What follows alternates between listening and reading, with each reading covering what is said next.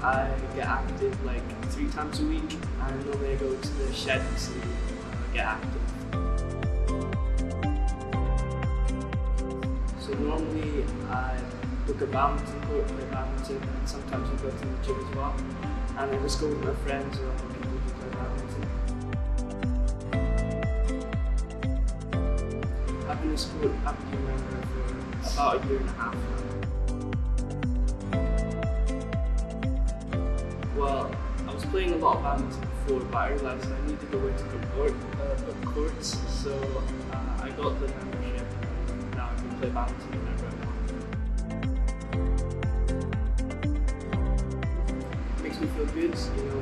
Makes me feel good that I've worked out, got fit, and uh, you know I'm playing regularly, which is nice. It's, yeah, it's a good fun experience.